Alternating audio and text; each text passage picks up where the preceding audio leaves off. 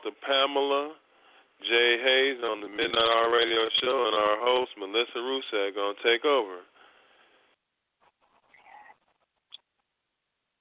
Good evening.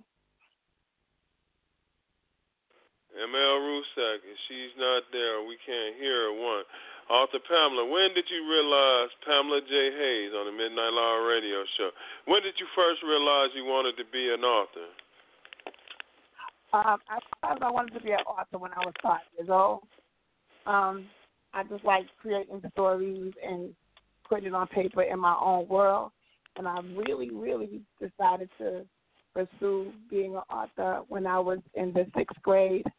I got a chance to write a play for my sixth grade class, produce it, and we put it on live, and then that was it. I wanted to just do anything that had to, for people to say my words and stuff. I wanted everybody just to hear my dreams, my my world, my words live. That was that sold it for me. Right, right. Let's see if author ML Ruscsak has any questions. Can you hear me, ML Ruscsak? Can you hear me? Yeah, we can hear you now. I'm gonna let her continue, um, Pamela, with the interview. Author ML Ruscsak and author Pamela J. Hayes. I'm sorry, I'm a little late to the show. I think we were having some technical difficulties. But you said you wrote the play when you were in sixth grade. That is awesome. Yeah. then I wanted to write ever since then. That okay for a lot of young authors. That is a feat in itself. So, what inspired you to continue writing from that? Um, what continued me to write, and from that point on, because when you write, you create whatever you want. Nobody can tell you what to do in your world. Nobody can control anybody. You control everything. You control your characters. You control how they feel. You control the way your world looks. So to me, that's powerful. That's exciting, and I can put my words to paper, and people can understand how I'm feeling, how I think, or and I invite them into my world with my writing skills. So that's why I always love writing. So, how much of yourself do you put into your characters? A lot of myself. okay, better question. Is it the characters taking over your story, or are you actually putting yourself in the story? Most of my stories are from life experience, so I Okay. put my characters and myself in the in the in the actual book. Okay. So, what one was your first book? Because I know you have about four out if I'm reading everything in front of me correctly. Uh huh. Yes. My first book was Family Time. Don't get caught up. Um, Okay. I wrote that book about sixteen. Uh, yeah, about sixteen years ago. And at that time, I was in my thirties, and my now ex-husband was selling drugs, and I didn't know. Oh. So it takes you on that journey of a wife now having to take care of the family in a whole different whole different outlook, different everything and it just tells them that what I went through, what the family went through because he went to prison and then they don't they forget about what the family goes to when a key person in the family goes to prison. So that's what Right. that particular book that you do. So it took me Oh. to it, it got me to get through my emotions, Mhm. my anger, my my disappointment. So all all of that is in that book. So yeah, that was my first book. Coming from a family with addicts in the family, I can tell you we talk about a lot about the addicts, about the dealers, about the criminal side. We never talk about the family dynamics. So we count on authors like you to give us books, to give us an insight into what the family goes through. Yes. And that's what I tried to do in this particular first two books of mine were telling people what family members go through because they forget that when that person, that key person, when a mother or a father goes to prison, the whole mm-hmm. family is of time, especially if you decide to stay with the person. So your whole life revolves around that that jail, that person, you know, that whole that whole right. culture, that whole jail culture. So I was able to put that, you know, like, look, you're not the only one that's suffering. Yeah, you in here, but we're out here suffering in this work. You know, so I just mm-hmm. wanted to let people know how how that felt and what I went through and what my sons went through. So. Well, hopefully someone will read it and wake up because it's not just oh, I'm going to do this and I'm going to be the one that pays the price if I get caught. No, the whole family pays the price when you get caught. Not if you get caught, oh. it's when you get caught. Yes. Yes. So then that takes you through the first two books, and then you have two more after that. So yeah. you have pay payback is a word. yeah. and side chick. So which one came first? Um, payback is the continuation of family time. Don't get caught up. Okay. Because I I didn't pay him back, but it shows how my life after I decided to sever ties, what was mm-hmm. next, what happened next. And then of course it's not all true, so you spice it up. So yeah. that's basically of course. what is exactly what it's, it's talking about. It's about women who are side chicks, and they shouldn't be. Like they have, for me, the book is telling people not to be side chicks, to have more self esteem for yourself, that you would want a relationship on your own. You should not mm-hmm. want to be someone's side chick. So that in itself is that's what that book is about as well. well, we all need those books. I mean, women out there, we have this mindset, and I don't know where this mindset came from. If it started in the 80s, 70s, 60s, I don't know. But we go, oh, it's okay to be the side person or the mistress or the whatever. No, it's not okay. You want a relationship for yourself. You don't need to be the third wheel in a relationship. Correct. And a lot of people believe that it's okay. They they convince themselves that it's mm-hmm. okay. Oh, I don't want, and, and they'll say stuff like, "Oh, I don't want. I'm I'm glad he's going home today to you know to his to his wife." And I'm looking mm-hmm. at them like, "Are you serious? Are you like celebrating Valentine's Day on February the 15th? You like doing Christmas on February on December 26th? Like you will never be in the forefront if you don't have your own relationship." So that's basically what that book is trying to teach them and talk exactly. about. Exactly. Are you so self-esteem, putting yourself down that it's okay in your mind to be the third wheel? To actually, you're going to end up breaking up a family because it's okay for you to send them home to their wife or their. yeah. yeah. It's just why are you doing that to yourself, you're all you're doing is destroying your heart. You're destroying any chance of your own happiness. Yes, yes. And a lot of women, I, I don't, and, and like you said, I don't understand where you get it in your mind that it's okay.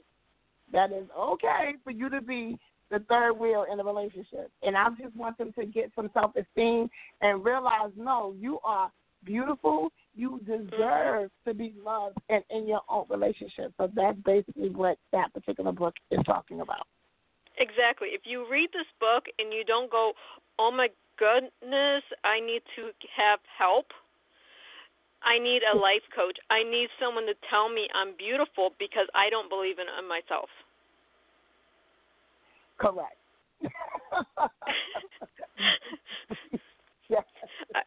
I mean, there's so many women out there I talk to. I'm like, are you serious right now? and it's just there's men that do this too. It's okay for their girlfriend to have another dude. I'm like, what are you doing? Thank Why you. is this I okay with you? I I don't get this mentality. I really don't. Me either. Me either. I don't understand. I don't either. Now I'm assuming Brown Girl is your children's book. Yes, it is one of this is the most this book has done so much. Um out of out of one year of being out, it has developed a brown girl movement for me. I have a brown girl clothing line that's coming out. I have t-shirts. It is just amazing. And this book came about because um my good girlfriend Kimberly Frederick Griffith, she's in Virginia. She was born in Harlem like myself. Um, she asked me last year, she said, Pam, why don't you write a children's book? And I'm like, I can't write a children's book. I'm an urban writer. No, no, no. She was like, No, I think you should try to write a book because when she was a, a young girl, she is darker skinned than myself. She told me that she used to get bullied because of her skin color. And I couldn't believe that because Kim is beautiful. I was like, You really had a complex about that? And she was like, Yeah. So from that simple conversation, Brown Girl came about. And I had a team, my team, um, which was Chandler Smith and Zaire Adams. They are my girlfriend Charlene Smith's sons. Um, now they're 13 and 20, but they were uh, 12 and 19 last year when we did the book. So Chandler, he helped with the artwork, and his brother is in college as a um, graphic designer, illustrator. So together, we came up with the Brown Girl book. I did the story, he did he did the drawings, and we came up with this phenomenal, phenomenal project. And I am so ever grateful to them for us doing the book, and it has touched a lot of lives. And it's actually in a um, library in Nigeria, Africa. So I'm very proud about that as well. So the book is doing what it's supposed to do. And it's, okay, I'm sorry. Go ahead. No, no, no. I was going to say that's awesome that you're getting all this movement together. There is a model I follow that's out of Africa. She has the world's darkest skin. Her skin is midnight, and she's so beautiful. I mean, yes. I I forget what her name is, but I mean, I can't understand the complex when your skin is darker or someone else why you would have a complex about that. I mean, you have so many beautiful women out there. We need to be comfortable with who we are. It doesn't matter what skin color you have, but you have to be comfortable with who you are. And this model, yes. she just came out, I think, last year. It's just wonderful to watch her. Let me see if I can find her real quick. But I'm glad yeah, that you I, have I, this. and, um, Go ahead. I just, I mean, I, I see a lot of models, and I see their Mhm. skin color, and I think they're beautiful. And us as brown people, we are beautiful in all facets. And I just am so happy that this particular book was giving them, giving the young girls, you know, encouragement and letting them know that they are beautiful by nature, and they should not care about what color their skin is. So Mhm. that's and it, it's really, I mean, it really it burst into a whole nother movement. Um, Mhm. February 23rd is actually National Brown Girl Day, so we had National Brown Girl Day out here in New York. I did the first one here, and it was amazing because we had young girls, we had older women, we had vendors just getting together and loving each other and celebrating their brown skin. So it was really a great, great. It's a great book, and I'm really proud of that. So that particular body of work that I've done. I'm proud of everything, but this particular one is really giving encouragement to young girls everywhere. That is wonderful. When you can actually inspire the younger generation to be comfortable with who they are and celebrate who they are, that is wonderful. Thank you. I tried my best to um put myself into the book, and the book is actually sparking a lot of conversation. Um, it, it's doing well, and I'm really proud of it. Like I said, um, I spoke at a couple of schools. I did a couple of readings for the children, and now it also has a spoken word. I have a spoken word on iTunes called the Brown Girl Remix, which in the book I actually wrote a letter of love to Brown Girls, but we turned it into an actual song because it has a hook, and that came about with my characters, which are Pigtail, Afro Puff, the original Brown Girl, um, Pigtail, Afro Puff, original Brown Girl, Soft Girls, and and Lock. So that's you know basically where it all came about, and now it's T-shirts, it's a clothing line coming out. So that particular book sparked a lot of stuff. So I'm really proud about it. So this is your baby. This is your the one that's catapulting your career. Where are your career going from here?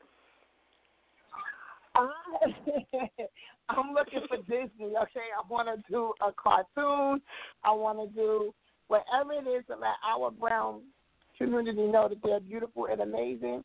I'm just waiting for it to just evolve into whatever it's going to go, wherever it's going to take me. I'm just ready. Well, hopefully we can get you there with this radio show. I mean, seriously, if you can catapult just a book, a single book this far, can you imagine what it could be with a 30 minute television show once a week? Yes, I I I, I can't even imagine like because even now I'm I'm I'm just flabbergasted because it's only been a year that the book has been out, and I'm mm-hmm. a, and I'm also like my own I'm a self-published author, so for it to have done this much, so yeah, I'm like really hopefully it'll just go further than my wildest dreams. Well, how many books in the Brown Girl series, or it's going to have to be a series if it's doing this well, are you thinking about doing? I'm doing. I'm thinking about everything because she started off like in elementary school, so I'm thinking mm-hmm. Brown Girl goes to college. Brown Girl, you know, gets her first job. It just, it the, the possibilities are endless. The, just to show, the sky's the limit. You know, yes, yes, exactly. that is wonderful. Okay. So we have the children's line going. Are you writing more adult books? Yes, um, I'm doing my first series, and it's called um, "I'm Not Defined by My um, My Address."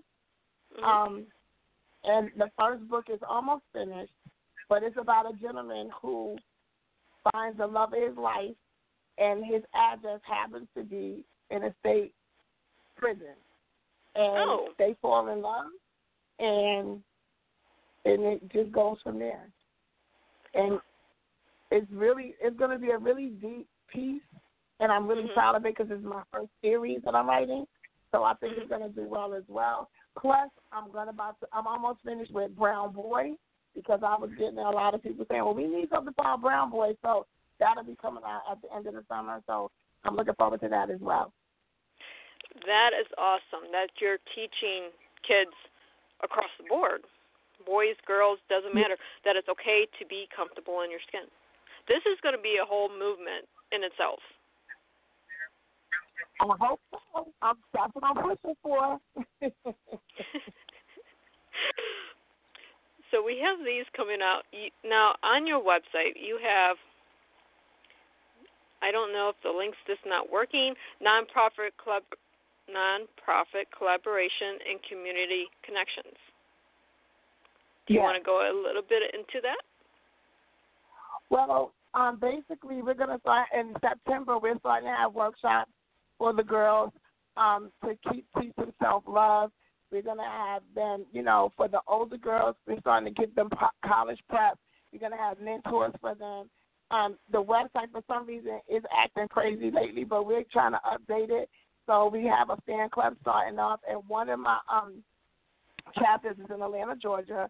Um, her her name is Lori. She read the book when she when she was 16, and she actually contacted me and said the book inspired her so much she wanted to do a fan club. So that's how the fan club started. So she's starting a fan club, and it's basically, like I said, to be a mentoring program for the young ladies, for them to, you know, know self love, to know that they are beautiful. So we're going to take them to college tours, get them ready for college, just a whole bunch of mentoring and just giving them self love, self respect, different things of that nature.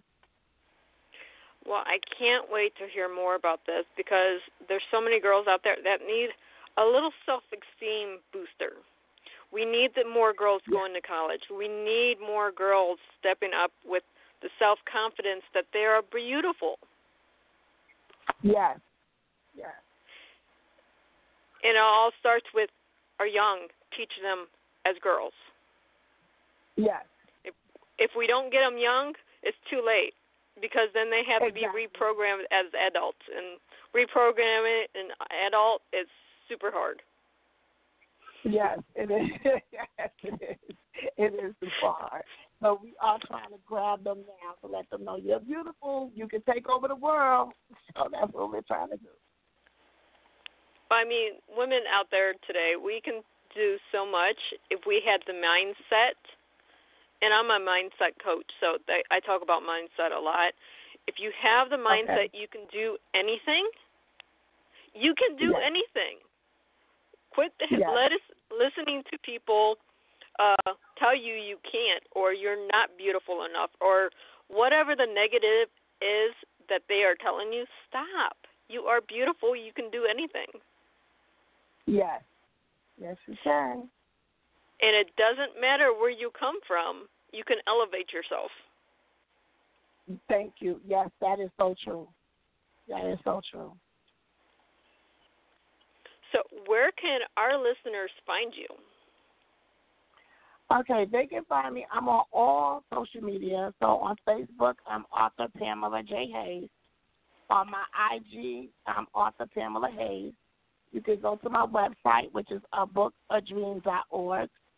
Um, you can email me at a bookadream at gmail.com, or you can call me on my business line because my phone is open 24 hours a day, 413 218 6204 and you'll get me personally wherever I can help or you want, you know, me to come talk, speak to people or anything. I'm available. That is awesome that you do that because not every author has is available for conversations. I, I, I, yes, I know that. so I mean, I, seriously. yeah yeah, we have to have those conversations that as an author we have to be available. When you're doing something that motivates our children, we have to be yes. available. You can't close yourself so off, why. Write a wonderful book or something like that and then expect people to come to you when you're not available. Exactly. So I'm available all the time. I see children in the city. I love them. I love kids. They are just like little sponges they are beautiful creatures, and we need to uh, let you know just love them and teach them and let them go into beautiful and you know beings. So that's why I'm open 24 hours. They can call me at any time, and I'm always there. That is so wonderful, and I think we covered everything that we can possibly cover today. Okay. I mean, it's it's fun talking to authors that actually motivate people, and then you have your clothing line that's coming out. You have your book series for children coming out because it can't stop at one book. You have yes. so much going on with your children's thing because our children need it. Yes, they do. They really do. They really do. And yeah, and then you have the adult ones that teaches us the woman's side or the family side of different problems. Correct. but there is one book, I'm just now looking at it, and we didn't really touch base on it. Uh-huh. Was uh, where am I at? I just seen it. Oh, Fire, the Diary of a Bisexual Woman? That is it. that particular story is about a woman that I know personally, but she wanted me to tell her story because she wanted to let people know that it's all about self love. Like it's you, because she was in a relationship with a male and they kept breaking her heart. So she decided mm-hmm. to try to be bisexual and go to being with a woman, and that woman broke her heart as well. So it's not about men or women, or it's just about you loving yourself and you finding somebody to love you like you love them. So that's basically what that book is about. Well, I'm glad that you were able to write that for her because yeah. having friends that are LGBTQ, I think I yeah. got all the letters right. My daughter corrects me all the time. it's not about one side or other. It's being able to love yourself because then you will attract the person you're meant to be with. Exactly. It and that goes across the board. That that is every person that falls in love. If you're able to love yourself, you will attract the person that can love you like you love yourself. Otherwise, you just keep fall, falling in love with creeps. Yes, yes, that is so very true. I can't put it any more blunt. I can't. It doesn't matter. Yeah. I mean, as women, we ca- we catch catch a lot of fish to kiss them, to find our prince, and yeah. it doesn't come until we love ourselves that we found find them. That is so true. Yeah, yeah, that is so true. So so true. Yeah. So I can only imagine being in the LGBTQ genre, what they go through because it's the same thing. You have to love yourself and other in order exactly. to attract your soulmate. Correct. That is so true. So thank you so much for being on the show today. Thank you for and having I, me. I, great. This has been a very fun show, very, very educational. and I love having fun. I mean, I love inspiring people. So thank yes, you so I much, and I'll be keeping an eye out for Brown Boy. Thank you so much. Thank you so much for having me, and, and definitely Brown Boy will be coming soon. well, I'll be waiting for it because if we can inspire the boys like we inspire the girls, I yes. think we'll have a working society. Yes, we would. And that's what I'm trying to do. we need to fix society one one thing at a time, right? Yes, we do. Yes, we do. Have a wonderful, wonderful day. Thank you, and thank you again. God bless.